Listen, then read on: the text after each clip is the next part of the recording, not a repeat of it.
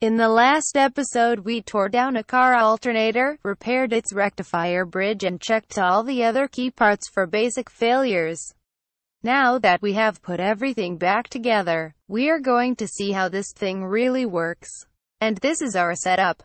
We have a 12-volt car battery connected to the alternator. Oscilloscope probes are connected to the appropriate phase terminals and to simulate the ignition switch I am using this alligator clip. To move the pulley I will use this socket with an adapter powered by this crusty hand drill and turn it on like that. Each trace here represents each phase. The oscilloscope is connected like that.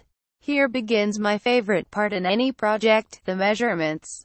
So without further ado, gentlemen, start your engines.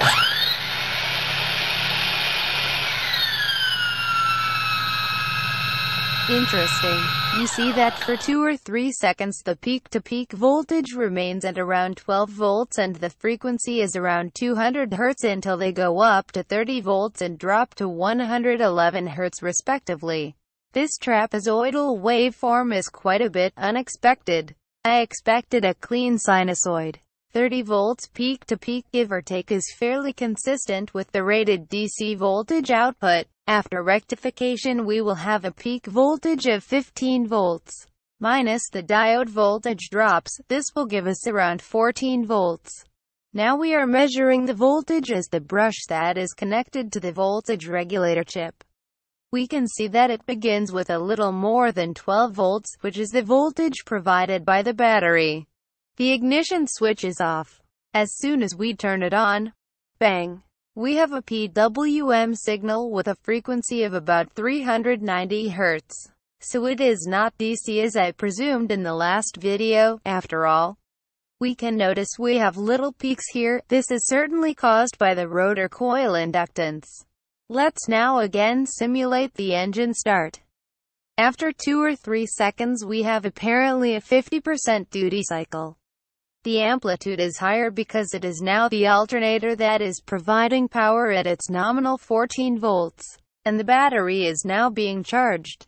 From time to time we have something of a longer pulse which means that for some reason we are having a low frequency oscillation in the control loop. This might indicate a fluctuation on the output voltage. We will have to see if this is the case. Also, I noticed that if the ignition switch keeps turned on after the engine stops, the voltage as the brush does not return to a high level, but stays in a low level consuming a lot of current. If we divide the 12 volts by 2.6 ohms, the rotor coil DC resistance, this will give us more than 4 amps. Holy moly!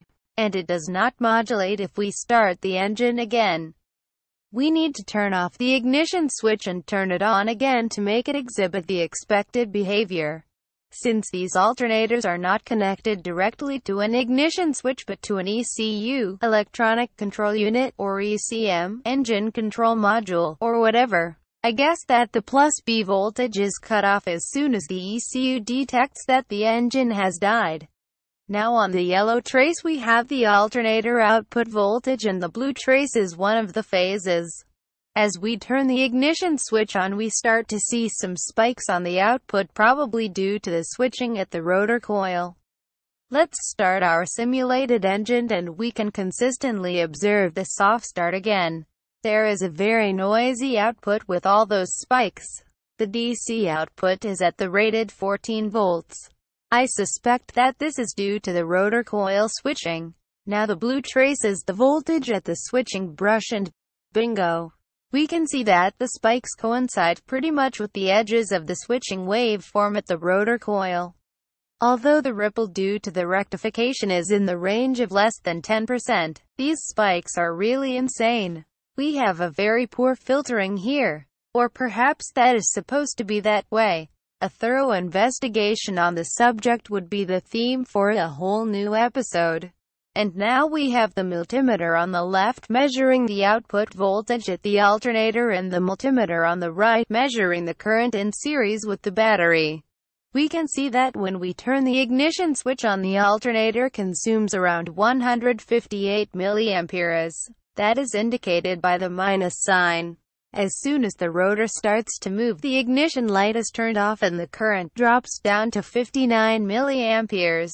A couple more seconds and the alternator starts to convert the mechanical power into electrical power and you can see the voltage going up to around 14 volts and the current now inverts its direction, confirming that the battery is being charged. If the engine dies, the ignition light is turned on, but as we predicted the current consumption goes up insanely to 3.6 amps. When you turn plus B off, this alternator quietly consumes 242 microamperes.